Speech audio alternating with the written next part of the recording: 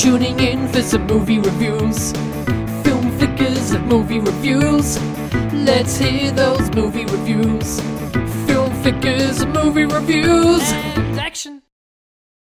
Hello, Flickers, and today we are taking a look at The Monuments Men, starring George Clooney, Hugh Bonneville, Bill Murray, and Matt Damon, along with some others, but those are the main ones. It's a film set during World War II, or right near the end of World War II, where a group of art lovers have been tasked with finding and recovering lots of art stolen by the Nazis. Yeah, it's a it is a very good story, and the humour in it is brilliant. I absolutely love it. I did get it confused with British humour because the the sarcasm is just so high, um, but it is it's brilliant, and some of the sort of like sort of gallows humour that they they have as well is just brilliantly tied in, and you get that from those kind of like soldier types, you know, just you know this could be your last minute so why not just do whatever? And it's it's it's brilliant. And um, yeah it, it's it's good to see that obviously I mean it is a pretty much all American cast. Um, of course there are a few foreigners Yeah. uh, thrown in there. But I, I, I think that the main thing is is that the, the the quality of the actors in this are just so high and the writing is so good.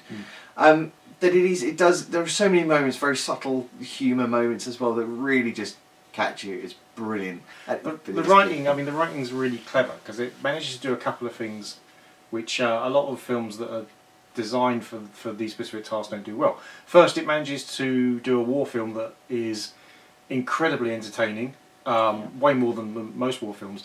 It manages to teach you about art without really you realizing you are learning about art. yeah And it managed to show some of the really nastier parts of World War Two, like the, the Holocaust and the uh, the Hitler Youth. Yeah, and it does it in a yeah. very gentle way, and so Yeah, you could you get the horror of it, but it's not thrown in your face like like most things do, and so you, you kind of get you, you get it by um by by little references yeah little references in there. So it's some just genuinely incredibly intelligent writing, and the I mean yeah the quality of acting is just Mm. out of this world. It's, it's truly outstanding. Um, They, they get a lot of things right as well with with the the way that sort of certain things were, and they don't. It, of course, you know the, the Nazis were absolutely horrendous what they do, but they don't demonize them too much. In other words, you do actually get. I know it's kind of it's it is uh, on the American sort of side, and you do have to have a baddie and stuff, which actually tends to be the Russians, to be honest, which are which are trying to do the same job as the Americans, but not for the same reasons.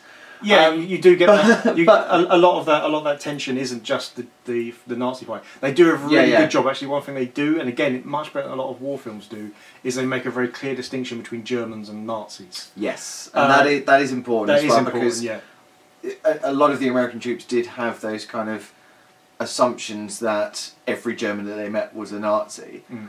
Um, but on sometimes they were quite right, um, and there are some beautiful little moments where they are uncovered, and it's it's great to kind of see those moments. Very I mean, subtly is, done. yeah, that is that that scene Yeah, you're talking yeah. about is a very very clever scene, and it and it does it, it brings again because they do these little subtle things that kind of teach Mm. you teach you bits. It's a very good part where they teach you that uh, the Germans weren't all guilty, uh, but then to show that difference, they then go to uh, that you see another German who is guilty. Yeah. But they, they do it the way it's done is incredibly good, and it it really does hammer home the subject that.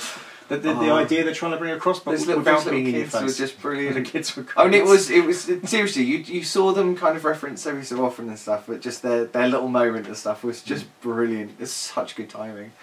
Uh, yeah, there were, but there are genuinely really laugh out loud moments. Mm. Um, you know, and it is just because of the awkwardness of the situation, and it's, it's but I just I I love it. It's so cleverly done, and it is it is very anglified. I think is the right way of saying it because it's I wouldn't.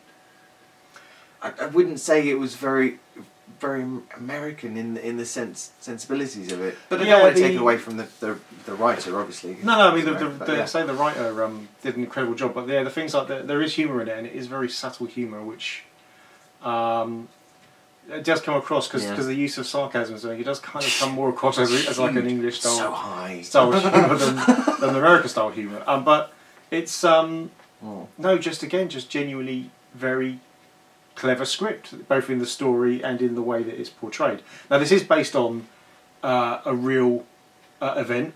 Yeah. Uh, they genuinely were the Monuments Men did, did exist, and um, a nice touch is at the end of the film, they do black and white photos, and it's kind of they're, they're basically scenes that were in the movie, but they're the actual photos of the real Monuments Men, Mm. which is a really nice touch, a Yeah, it, good it, touch. it just shows that they are it- making making the point of grabbing attention to detail and the fact that actually what you see in the film did actually happen. Mm. You know, I mean, obviously it is dramatized and there are words thrown in that we, we don't know exactly what was said.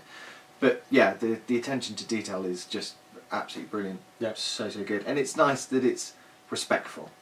It is. I think that's that, that's the key point. I think although It- we get entertained and it's very funny and there are some really tragic minutes, I think the fact that it is so respectful to to those guys, the the, the actual people who Mm. did did go through it and stuff. But yeah, I mean, it is just it's it's nice. It's it's nice and it's kind of you don't feel, you know, like U five seven one. You don't have that kind of. ang- anger about the fact that it's completely misrepresenting the, the people who actually existed yeah. you know No, all in all, this is uh, it's an incredibly good film. It's a very good piece of entertainment. It's uh, a, a, just an interesting film to watch, and it's definitely one you can just kind of sit down and Mm. lose yourself to. But it's uh, it is slightly more cerebral than your your average action film, but Yeah. it's worth the travel. It's worth it's worth the journey. Yeah, definitely. Cool. Well, thanks for watching. Bye, Flickers. Bye. Thanks for watching the video, and if you did like it, then please hit the like button. And if you want to see more from us, then please hit subscribe. And don't forget to leave a comment below. And if you've got any suggestions for films that we should be reviewing in the future, please leave us a nice little message. Oh, and check out our previous videos.